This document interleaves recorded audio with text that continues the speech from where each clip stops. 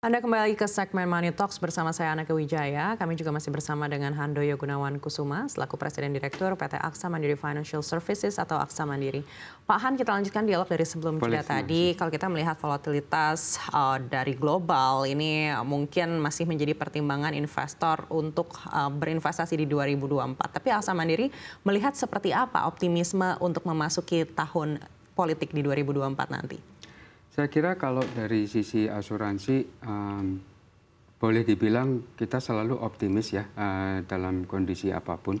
Uh, kalau kita boleh dibilang dari tahun 2024, uh, kita juga melihat dari kondisi ekonomi global dan ekonomi di Indonesia sendiri, yang saya kira juga masih bisa dibilang akan tetap stabil ya jadi itu membuat dari kami sendiri juga um, optimis gitu ya dari perkembangan dari bisnis asuransi ini akan terus bisa berjalan.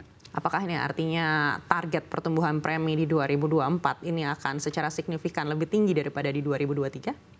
Uh, kita mengantisipasi dari beberapa hal tentunya dalam hal ini, tapi target pertumbuhan kita tetap konsisten ya dari uh, apa yang memang kita sudah rencanakan.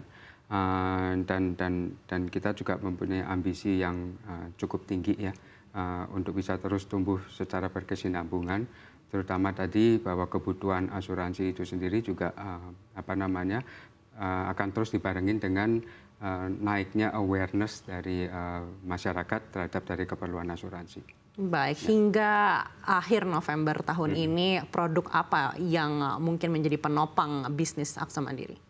Uh, kita bervariasi ya produknya sesuai dengan segmen dari nasabah kami.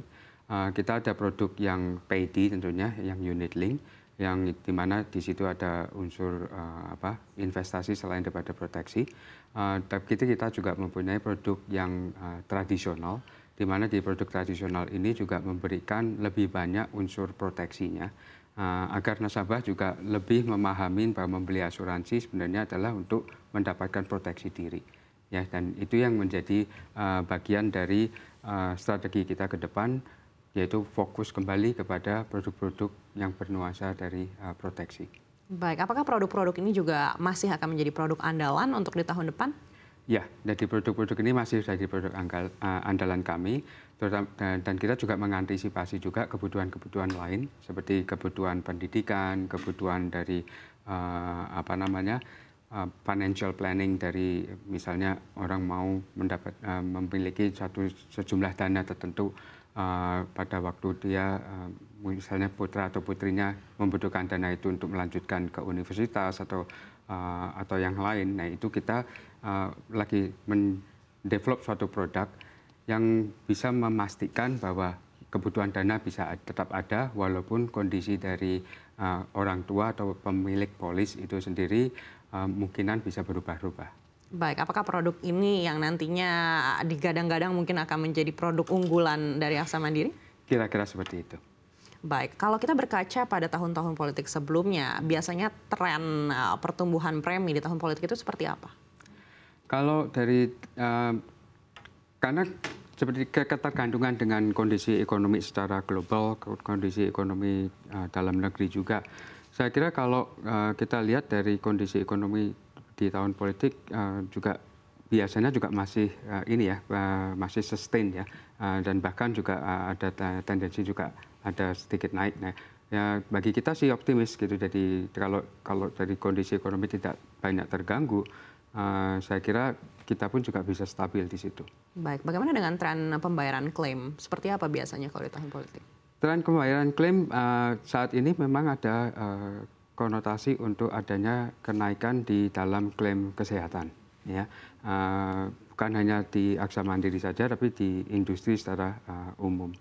Nah, ini sebenarnya membuktikan juga bahwa lebih banyak masyarakat yang lebih sudah mulai memahami dari uh, manfaat asuransi dan sudah uh, lebih banyak juga nasabah yang sudah menikmati manfaat itu sendiri ya dalam arti bahwa oh mereka sudah lebih sadar gitu ya bahwa uh, membeli asuransi itu uh, ternyata bukan cuma uh, ngomong omong kosong gitu tapi ada realisasinya gitu manfaatnya kalau saya sampai jatuh sakit itu uh, ternyata memang ada realisasi bahwa oh saya bisa mendapatkan uh, pembayaran biaya uh, ke, uh, rumah sakit saya dengan asuransi ini.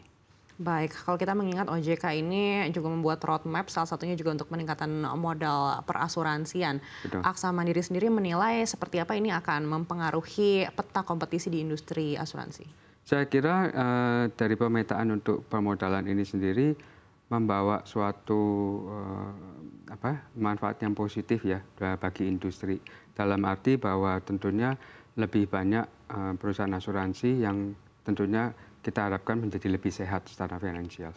Kalau Aksa Mandiri sendiri kita secara finansial sudah uh, strong ya dan dan kita likuiditas kita juga jauh di atas dari uh, yang diminta oleh regulator. Jadi uh, dampak ini sendiri tidak tidak secara langsung uh, kena ke Aksa Mandiri gitu. Tapi kita harapkan dengan adanya iklim uh, as, apa, perusahaan asuransi yang menjadi lebih sehat, tentunya ini akan membawa reputasi dari industri lebih baik lagi juga masyarakat lebih confident terhadap membeli produk-produk asuransi uh, dan confident terhadap uh, di mana mereka membeli produk itu. Jadi saya kira uh, positif gitu ya. Jadi dampaknya. Baik, untuk kompetisinya sendiri apakah akan lebih mengerucut atau justru semakin lebar dengan adanya roadmap ini?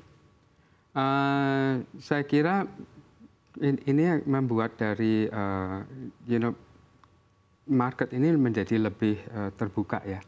Uh, jadi karena sudah lebih banyak juga transparansi yang yang yang, yang akan terjadi dengan uh, nantinya juga akan ada pelaksanaan dari IFRS 17 atau PSK 74. Jadi saya kira dengan dengan semua apa yang dilakukan oleh uh, regulator saat ini itu tentunya untuk kebaikan dari industri dan bagaimana juga melindungi dari nasabah-nasabah uh, kami. Gitu. Baik, nantinya implementasi untuk PSAK 74 sendiri seperti apa? Apakah juga akan menjawab uh, pertanyaan-pertanyaan yang ada dalam industri asuransi selama ini? Mungkin sebagian akan terjawab di situ karena transparansi akan terjadi uh, dan nasabah juga sudah lebih bisa melihat gitu industri uh, perusahaan asuransi mana yang yang sehat, perusahaan asuransi mana yang mungkin perlu diperhatikan dan lain sebagainya. Dan ini memacu perusahaan itu sendiri untuk menjadi sehat tentunya. Baik, Aksa Mandiri sendiri sudah masuki ke usia ke-20 tahun. Mungkin Betul. ada tema dan pencapaian khusus di usia baru ini? Uh, saya kira uh, kita mempunyai aspirasi untuk uh, terus bisa uh, apa namanya menjadi leading di uh, pasar Indonesia tentunya. Uh, saat ini di, kita ada di top 3 uh, uh, dan kita tentunya ingin terus untuk bisa meningkatkan dari market share kami. Baik, apakah ada pencapaian-pencapaian khusus juga yang mungkin akan harus dicapai di usia yang baru ini?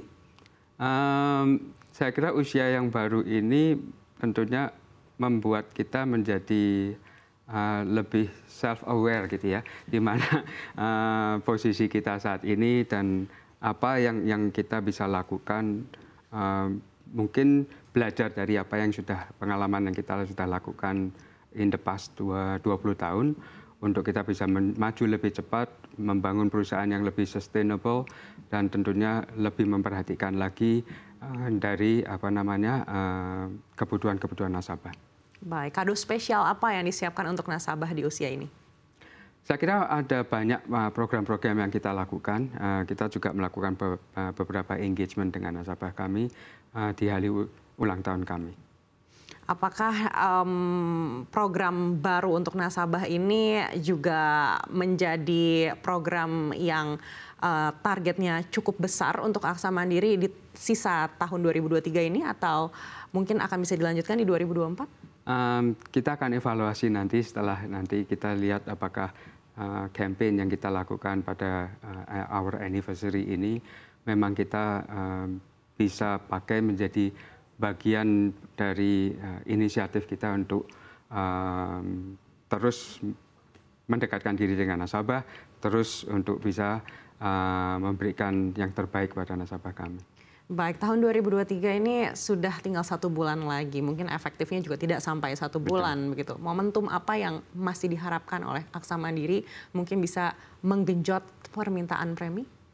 Saya kira uh, kita cukup konsisten ya. Kita uh, juga sudah uh, mempunyai program dalam uh, yang kita sebut anniversary uh, campaign gitu ya.